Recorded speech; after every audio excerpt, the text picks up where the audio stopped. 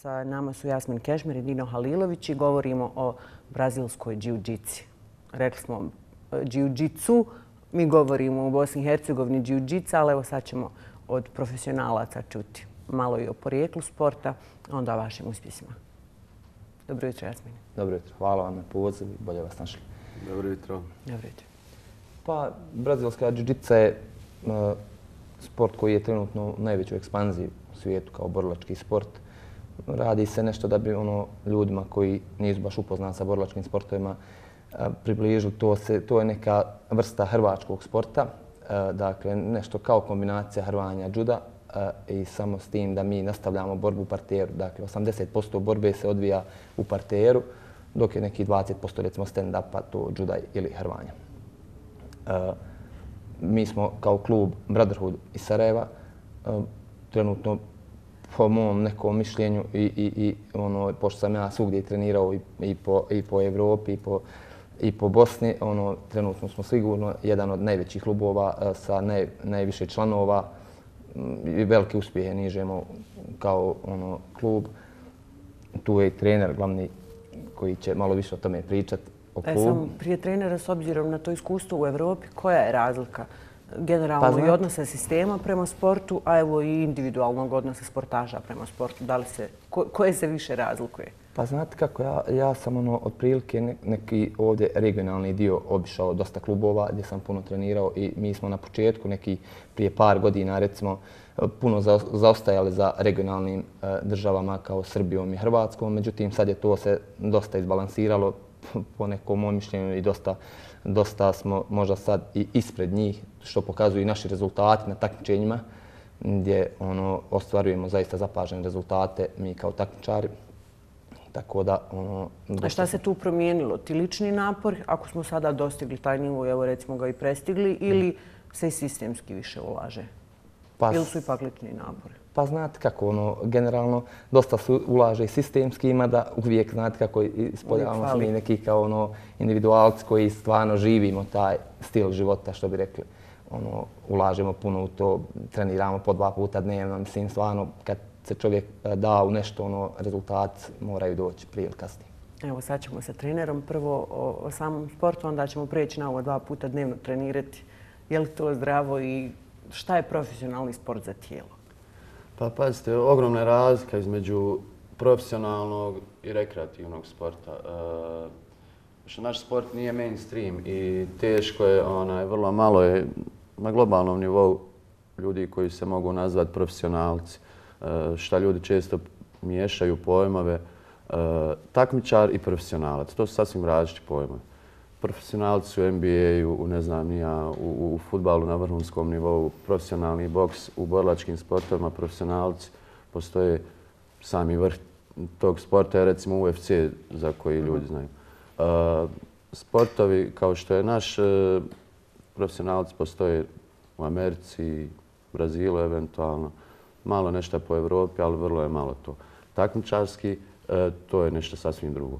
Što se tiče tog našeg napretka, kao države Bosne i Hercegovine, istina je, ja se apsolutno slažem sa kolegom Jasminom da je ogromna razlika bila e, između država u regiji i Bosne i Hercegovine koja je relativno kasna u tom procesu. Standardno, uvijek naša ista priča. Ali su ljudi, onaj, e, dosta ljudi je dosta napora uložilo u zadnjih nekih desetak, 15 godina, e, što na individualnom nivou, što na nekom kolektivnom.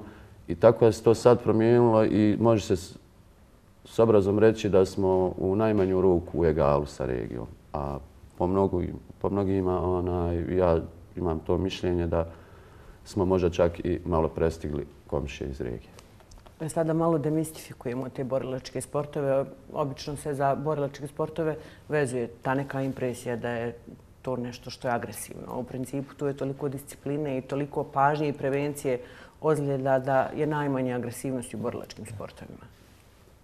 Pa, znate kako, ono, e, ja uvijek imam običaj da kažem da, da tren, na treningu, na, na, pogotovo taj borilački sport, ljudi puno povezuju to kao da smo mi neki nasilnici kad nas gledaju kako, da se, kako se bore, pogotovo tamo sad što je kolega rekao ovaj UFC, ono, kad vidite tamo krvave glave razbijene.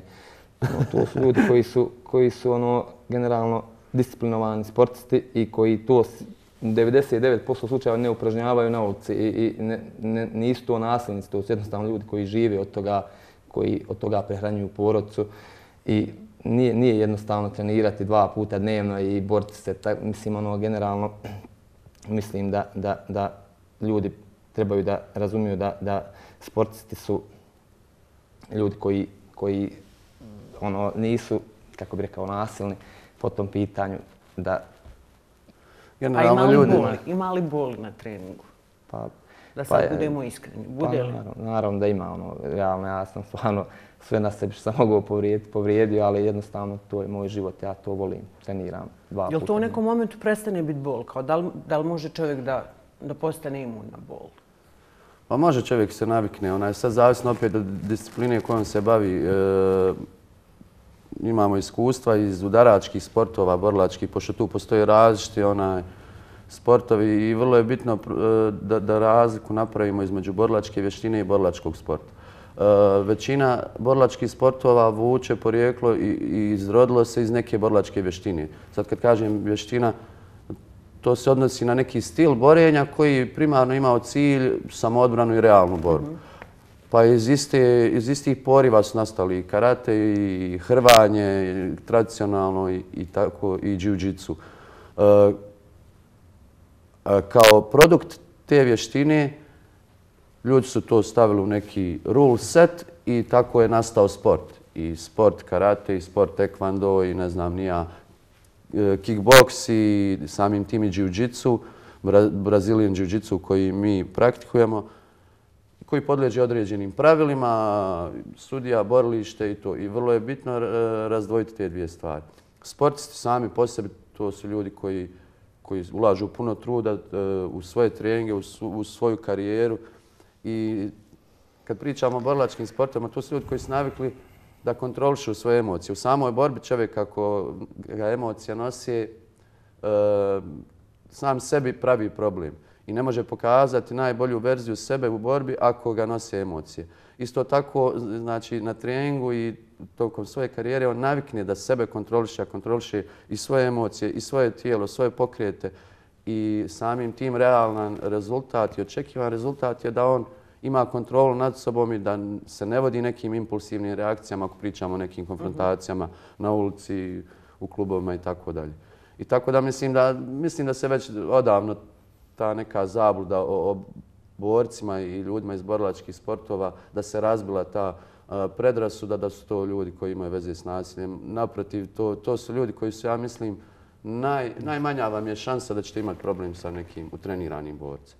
Jer oni jednostavno nemaju želju za dokazivanjem, a većina tih konfrontacija upravo nastane iz tog razloga. Ovo kad ste pomenuli kontrolu emocija i volim uvijek sa sportašima da se dotaknem toga šta su sve benefiti bavljenja sportom i rekreativno i profesionalno po sam mentalni sklop i po odnos prema obavezi, prema ustajanju, prema, prema tijelu, samim načinom ishrane, e, time da čovjek ima redovne aktivnosti. Na koji način to izgradi čovjek? Evo sad, iz prve ruke. Pa znate kako, ono, dosta ljudi uh, povezuju eh, sportske aktivnosti isključivo sa nekom, nekim fizičkim zdravljem. Međutim, malo se dotičemo da je to eh, da je i mentalno zdravlje isto toliko bitno kao i, i fizičko zdravlje.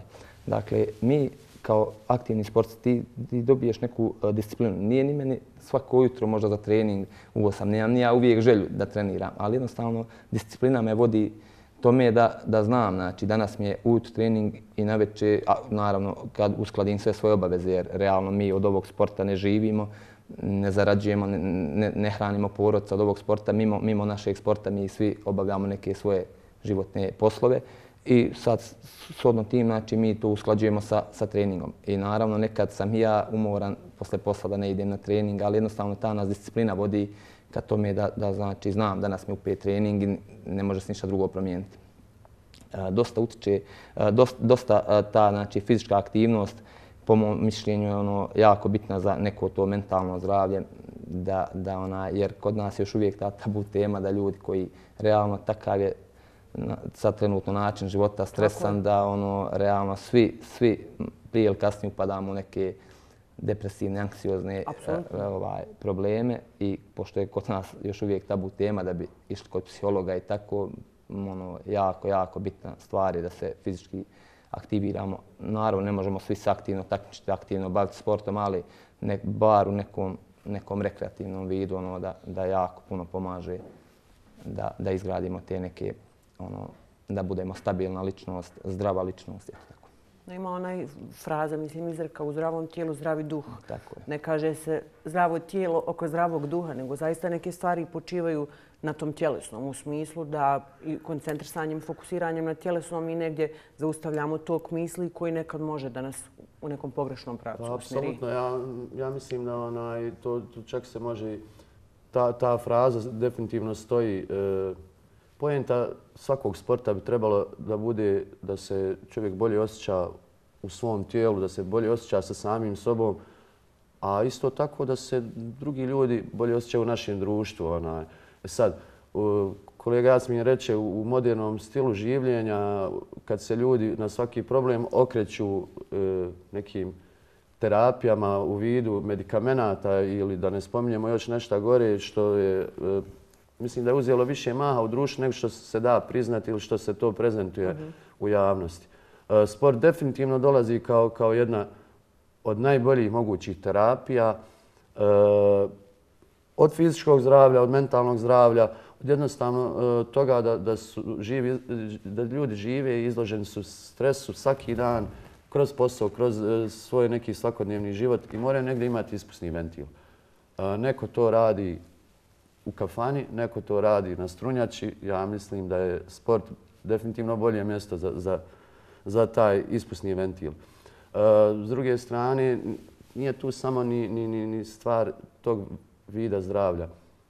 Kroz te procese, pošto mi imamo više grupa od male djece preko početnika, e, srednjoškolaca, srednja grupa koja je ono, omladina i mlađi ljudi do starih i iskusnih, imamo to mi veterana neki koji imaju 50 plus i tako dalje. Onaj, dakle, nije, nije limitirano starosnom dobi.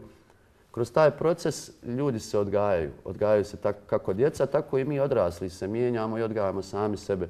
I vjerujte mi, mi smo imali, kad nam čovjek dođe sa 50 godina, prvi put ima dodir sa našim sportom i dođe kod nas, počne trenirati nakon 5-6 mjeseci, kaže, evo ovo su riječi konkretnog čovjeka, vi nemate pojma koliko ste mi kvalitetu života promijenili.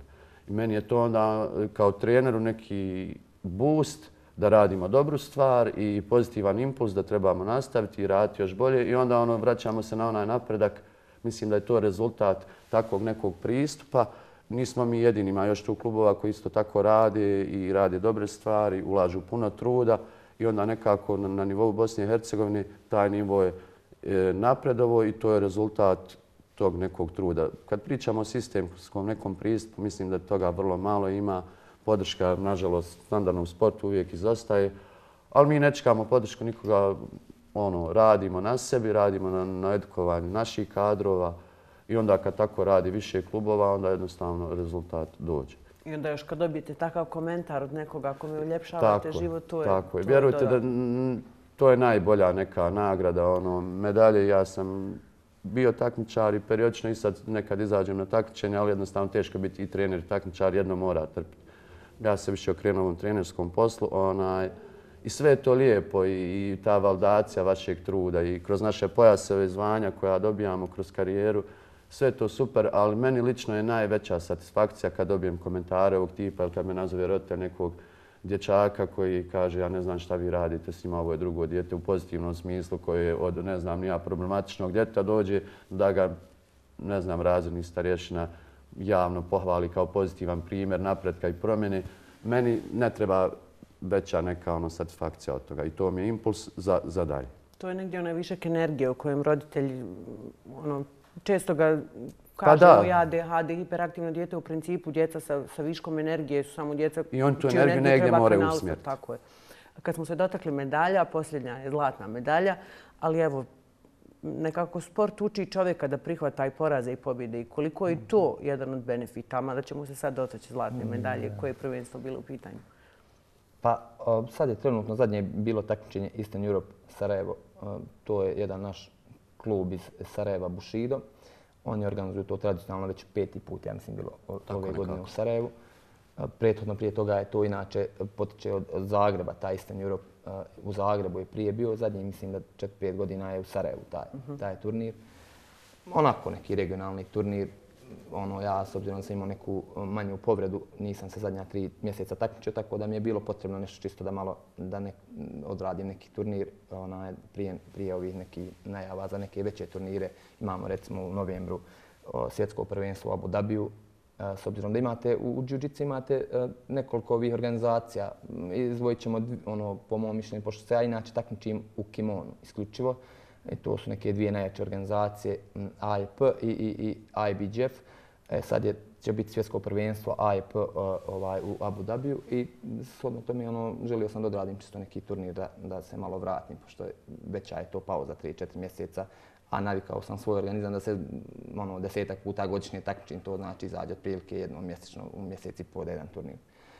Jednog sam, ono, jednu, jednu sam samo borbu imao na ovom zadnjem turniru, to je jedan moj stari poznanik upravo iz tog Bušida, već smo par puta radili, ovaj put sam ja imao to inače. I drugovi smo i treniramo povremeno zajedno, ali eto, ono, na turniru kad se sretnemo, pošto smo iz ta kategorija, borimo se kao da se i ne znamo. Je se teže boriti s nekim koga poznajete, koji prijatelj ili s nekim koga Pa generalno jeste. Ja Jel? stvarno, stvarno, no, i, zato, i, pogotovo kako, kako što je malo prije kolega rekao vezano za ove pojaseve, mi kako dobivamo neka zvanja, kako veći pojas ono, u ovom regionalnom takmičenju slabije se ljudi prijavljuju. Onda to većinom to budemo mi koji se već znamo, godinama tu treniramo i ono, nije to baš neki, nema tu adrenalina nekog sada se ja i drug borimo s kojim sam prije pet dana trenirao, ali eto, ono, odradimo borbu čisto i njemu je potrebno i meni, tako da ono, ok, bitno je samo da sve se završi bez povrede neke, da, da prođe sve kako treba. Ovaj put sam ja imao više sreće, pobjedio sam. Eto. Jel se zna konkurencija za Abu Dhabi, kako to ide, jel dobijete unaprijed? Pa ima tu spisak, ono, kako se prijavljujemo, gledamo, ba, tu je stvarno ono, vrhunska konkurencija, to je baš ono pravi turnir. Ja sam ove godine bio u Rimu, u februaru na Evropskom prvenstvu. Ove druge organizacije, IBJF, ono to stvarno vrhunski borci dolaze iz, iz cijelog svijeta. To se zove Evropsko prvenstvo, ali najviše Brazilaca bude ono... Bude Amerikanac. Ja, Amerikanac. Tako da ono, to stvarno, to je par tih turnira koje ono, ono, kogod se takmiči ovome mora da prođe, da je jednostavno osjetio taj adrenalin gdje dođe. Je li bilo borbi protiv Brazilaca? Jeste, ja sam sad na Evropskom prvenstvu, nažalost u, u, u drugom krugu izgubio od Brazilca koji je ono... Ja inače, ono, često kad pobjeđujem, uh, pošto imamo, imamo dvije vrste ljudi, recimo imate ljude koji forsiraju završnice, da što prije završe borbu, da ono bude to malo i, i, i, i lijepo za oko. A imate borce poput mene koji ono, ja volim taj neki stara škola, ono, da dominaciju tokom čitave borbe i recimo većina mojih borbi je pobjeda je na bodove. E, i, inače ja uvijek govorim ono kako sam na iskustvo uzmem, uzmem borce jer se dugo takmičim i ono, iskusan sam, pot... e ovaj put sam izgubio od iskusnijeg osobi, znam je bilo. Dobro, ali evo lijepo i to i primijetiti i moći reći to je taj sportski duh, zdravi duh. Stvarno me čovjek na iskustvo ono, pobjedio, ono, baš se osjetilo to iskustvo. Je li se moglo nešto naučiti iz, iz njegove borbe? Pa naravno, ono, neke stvari sam, ono, za koje evo, godinama se takmičim, nisam znao recimo da se ono, da će zbog toga dobiti recimo bodove, ono, ono, generalno treba čovjek da gleda nikad kao poraz nego lekciju. Malo ja nisam baš kompetentan za te stvari, ja sam inače malo onako nisam. Voli Ali evo, naučio, evo, iz konkretne te borbe i ja sam naučio par detalja koji smo mi komentarisali kasnije i to što kaže onaj Keša da, da je izgubio na iskustvo, baš je to bio dobar primjer te situacije gdje je izgubio na iskustvo, gdje sam ja kao trener, on i kao mi kao kolektiv naučili neke stvari koje ćemo sutra iskoristiti u borbi. Konkretno ovdje je bila situacija neka za koje nije ni znao da će protivnik dobiti bodove. I sad, e, to je nešto što možeš iskoristiti već na sljedećoj borbi ako ti se pruži prilika i na vrhunskom nivou ti mali detalji odlučuju. Na jednu prednost se osvaja titula ili na sudijsku odluku, na mali neki onaj, kad je to ublizu sve, onda je to e, taj mali detalj može, može presuditi. Pri uključenju u live, onako smo razgovarali, pomenuli smo osim brotherhood, sisterhood, je li tako? Tako da i žene imaju priliku i djevojčice da se bave ovim pa sportom. Da. Da, e, generalno je e, ovo sport definitivno za sve. i za djecu i za odrasle, za one koji nisu upućeni kakav je to sport. To je borlački sport koji u ovoj sportskoj verziji nema uh, udaraca.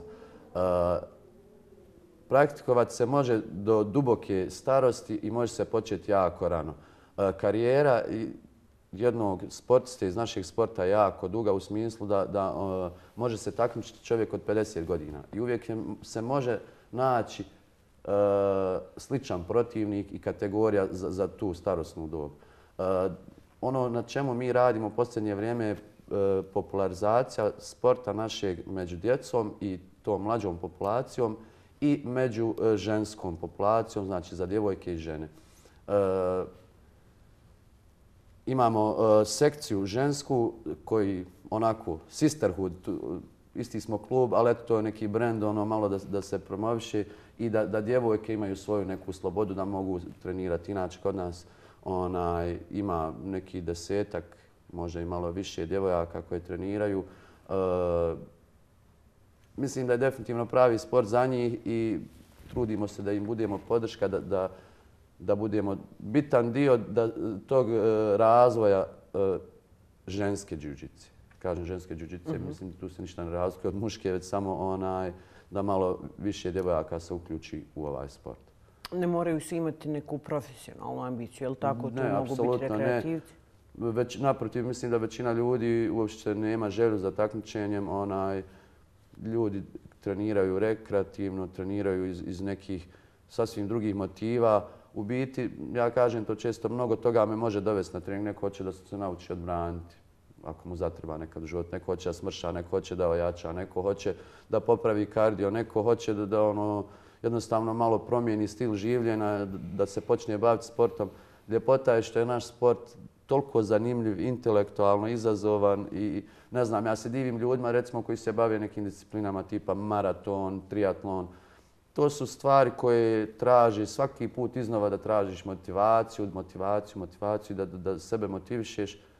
I ja lično onaj, vjerovatno ne bi imao tu motivaciju. Naš je sport zanimljiv, jednostavno, baviti se s njim i to je ono, ne, ne treba ti neka motivacija. Naprotiv, mi smo uvijek u problemu onaj, s kontra strane. Treba nas malo primiriti jer previše smo opterećeni tim non stop je to. Gdje god idemo turistički, ako idemo ili poslovno van države, van grada, uvijek je oprema s nama, uvijek. I to recimo ovako nešto možemo reći da je specifično za naš sport. Nama konstantno gosti dolaze, evo sinoć smo imali dva momka iz Slovenije, uvijek dolazi iz Evrope, iz Amerike, iz Brazila ljudi koji turistički prolaze ili poslovno su tu u prolazu kroz Sarajevo, jave se na našu stranicu, e, dođu na trening, odrade. I to je nešto što je sasvim normalno kod nas. Mi kad idemo vani, idemo u Minhen, idemo, ne znam, u New York, idemo u Oslo, Google, nađemo jiu-jitsu u tom gradu, javimo se ljudima, eto nas na trening. Mislim da je to u drugim sportovima nezamislivo. To je stvarno lijepo. Ona, I to je nešto stvarno što je sasvim, sasvim normalna pojava kod nas. I to ono, kad kažu sport povezuje ljude mi smo definitivno dobar primjer da stvarno sport povezuje ljudi jer kroz ovakva gostovanja i posjete smo stvorili prijateljstva stvarno širom svijeta i dan danas smo s ljudima u komunikaciji, odemo mi kod njih dođemo. Kogod od naših ljudi ide negdje uvijek pita ima li neko naš da se javimo tu, nekoga znamo. I onda on ide preporka ako je Slovenija, ako je ne znam, nije u Švedskoj ovdje, javite se kod njih, trenirajte s njima, njih znamo i tako to. Uh, to je nekako ono baš postulat sporta, po meni. Kako vas ljudi mogu pronaći, oni koji žele da se priključe ili možda da, da samo pogledaju pa da vide da li im odgovara? Pa mogu nas naći putem društvenih mreža, mogu nas naći preko interneta, imamo i web sajt, klub se zove BJJ Brotherhood Sarajevo, mogu nas naći na Facebooku, na Instagramu sa tim pseudonimima. Uh, mogu se javiti putem telefona, ne znam da li da, da damo ovakvu eter ili ostalo. Što se mene tiče možda? Uh, recimo 061 282 646 E, mogu se javiti, bilo kakva pitanja, informacije da imaju, nek pošalju poruku na Facebooku, na Instagramu, mi smo tu da odgovorimo na sva njihova pitanja, nek dođu da probaju trening, nek odrade i kasnije, ako im se ne svidi, ja mislim da sigurno hoće, ne kažu ovo je grozno, nećemo više da treba. A neće sigurno. A neće, A neće sigurno. sigurno. Šta nam je onda sljedeće? Abu Dhabi i kako izgledaju pripreme pred takmičenja? Pa ono, od prilike se trenira ajmo reći desetak puta sedmično, što znači imaju neki jutarnji treninzi. Ja radim jutarnju snagu i kondiciju u klas centru u teretani. A, onaj, a najveće su nam treninzi džuđici. I otprilike to ide tako ne, ono, desetak puta sedmično se trenira. Pripreme teku fino, ima nas par momaka iz kluba koji ćemo zajedno da putujemo.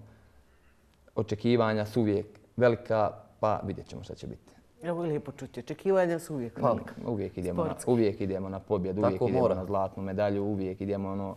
Ja iskreno uvijek često spomenem što bi rekla kolonija na tronu može biti samo jedan. Ono, to, je, to je realno, tome se vodim. Naravno, nije uvijek tako sve sjajno i bajno, ali ono, trudimo se da, da nas poraz, da nas poraz ne dotuče, da ne, da ne odustanemo i mislim da, da je to jako bitno u, sportu. Pa priča jednog šampiona nije išla u pravcu, htio sam biti yes. u sredini, Tako ono, kao ma nevažno, u principu cilj je ono što motiviše. Tako je, ciljevi se moraju postaviti visoko. Uh, evo, ako mogu samo da spomenem, mi smo početkom godine imali, uh, prvi put smo mi organizovali turnir u Sarajevu. Uh, kad kaže mi, mislim na naš klub, bilo je još ti drugih klubova. Po prvi put je bio taj no gi. Pošto jiu-jitsu dolazi u dvije verzije. Gi i no gi. Gi u biti znači kimono, nogi znači bez kimona. Gdje se radi u kompres majicama, rašgardima i uh, eventualno. Onaj, mi smo napravili tad e, nogi verziju turnira i tad smo postavili cilj jako visoko. Po, ono, na početku je to izgledalo čak vrlo nerealno s kim god da pričamo. Onaj, mislili su da, da ono, malo naivno pristupamo tome. Eh, od ideje na dva ili tri borilišta da radimo turnir, eh, završili smo na osam borilišta gdje smo dobijali komentare od, ljude iz, od ljudi iz Hrvatske ili Holandije. Recimo, evo, konkretan komentar čovjeka iz Hrvatske koji je stvarno prošao svega trener ima svoj klub, ima svoj turnir koji on organizuje, kaže ovo je najbolji turnir na kojem sam bio. Do ovi iz Holandije su govorili ovo izgleda više kao svjetsko prvenstvo, nego kao neki regionalni turnir. Tako, postavili smo cilj visoko i onda smo ga uveliko prebacili. I ljudi su bili oduševljeni, svi posjetioci su bili oduševljeni. Sad, ako Bog da spremamo projekat 26. i 27. novembar, e, ovog puta dižemo ljestvicu za još jednu stepenicu i isti taj sistem ćemo primijeniti gdje ćemo sad raditi na dva dana turnir, e, jedan gi, drugi dan nogi. Tako da ćemo to sve uduplat praktično. Vidjet ćemo kakav će odziv biti. Prošli put je bio vrhunski. Nakon što smo ostali te dobre dojme, mislim da može biti samo bolje. I tako eto, pozivamo sve takmičare iz regije, cijele iz Evrope. Znaju e, šta ih čeka, čeka i vrhunske borbe, puno borbi i težak put do medalje.